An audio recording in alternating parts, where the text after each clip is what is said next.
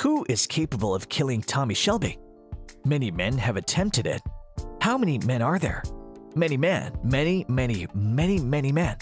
Another is added to the list in season 6 of Peaky Blinders Nelson Jack. Now is the time for the Americans to go after the king. Continue watching the video till the end to find out how Tommy will beat Jack Nelson. The Lees were another small time crime family back when the Shelbys were small time. Billy Kimber was there. Then there was Inspector Campbell. Then there was Father John Hughes. Then there was Luca Changretta. Then there were the Billy Boys. Then there was the IRA. Then there was Michael. And ostensibly at all times, Alfie Solomons. Gypsies, Russians, Italians, Scots, Irish Republicans, fascists, and even Shelbys have lived here. Nelson establishes himself as a key player early in the season. He's introduced as Michael's uncle, Uncle Jack, and the father of Michael's wife, Gina Gray, Anya Taylor-Joy. Nelson is of Irish origin. His clan, we learn, competes for distribution control of Boston with both the Jewish and Italian families. While he has a firm grip on the west side, Tommy Shelby's actions may upset the power balance. Tommy instructs Michael and later Gina to approach Nelson with a proposition act as the Shelby's opium distributor in Boston, or else Tommy will supply Boston Jewish families. The proposal sets up one of the season's major tensions, with Michael vowing from the start to double-cross Tommy and kill him in order to avenge Polly's death. Nelson, on the other hand, employs a more devious strategy to bring Tommy down. Unlike some of the other historical figures featured this season, such as Oswald Mosley, Diana Mosley, and Winston Churchill, Jack Nelson is a fictional character. The Irish gangster appears to be a creation of the authors. We don't learn much about Nelson's past, except that the first person he killed was a priest. He also admires Tommy because Nelson claims their stories are similar and that they both came from humble beginnings and built empires. Who is Jack Nelson based on? It's tempting to look to openly criminal organizations when determining who Peaky Blinders Season 6 antagonist Jack Nelson was based on. Peaky Blinders Season 6 suggests that he's based on Frank Wallace, who led the Irish-American Gustin Gang in Boston in the 1920s and 1930s. Frank Wallace was a formidable figure who was assassinated in 1931 by the Italian-American Mafia.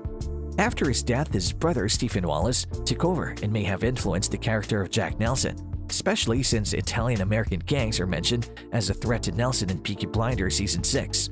While Frank and Stephen Wallace may have influenced some aspects of Jack Nelson's story, Peaky Blinders creator Steven Knight has confirmed that the show is based on a politician rather than a gangster, Peaky Blinders Jack Nelson is based on JFK's father, Joseph Kennedy Sr. While historians have refuted the claims, criminals like Frank Costello have insisted that they worked with Joseph Kennedy on bootlegging operations, and this is where he made his first fortune. Peaky Blinders appears to be using this version of Kennedy Sr.'s history, or melding him with the Wallace brothers for the sake of the narrative by basing Jack Nelson on Joseph Kennedy. Kennedy began making huge profits in real estate after becoming a bank president at a young age. During World War I, he worked on the production of transports and warships, which led to him meeting future President Franklin D. Roosevelt. Later in life, Kennedy became particularly close to Roosevelt, was appointed chairman of the United States Maritime Commission, and served as a United States ambassador to the United Kingdom from 1938 to 1940. While Joseph Kennedy was never convicted of any crimes, there's evidence that he was involved in illegal and immoral activities. This would all fit to Gina's suggestion that Jack Nelson is attempting to project a clean image. During the 1920s, Kennedy made a lot of money in Wall Street by using illegal tactics like insider trading, but he mostly avoided the consequences of the 1929 Wall Street crash.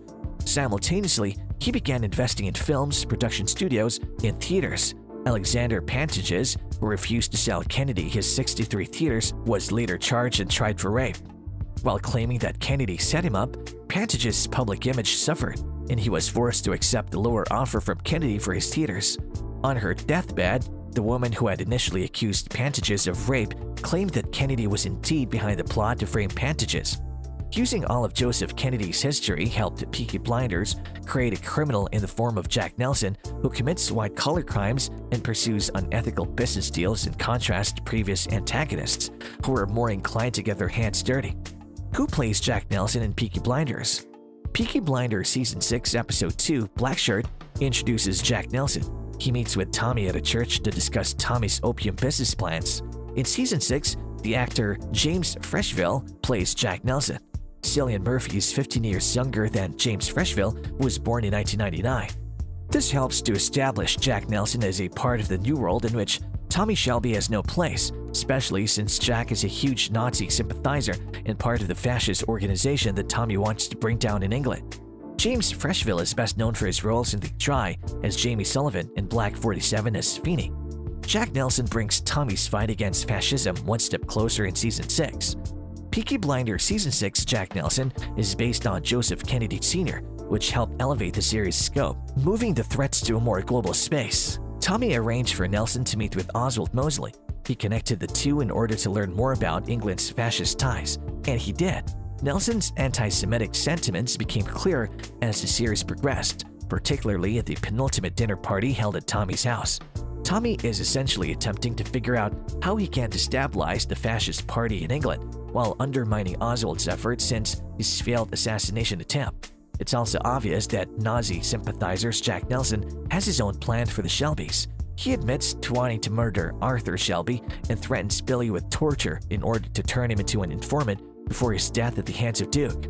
Peaky Blinders Season 5 also saw the unexpected return of Tom Hardy's Alfie Solomons, who returned in Season 6. To bolster his fight against the fascists, Tommy informs Alfie that his uncle was murdered by an anti-Semitic group, fueling the fire for Solomon to assist him.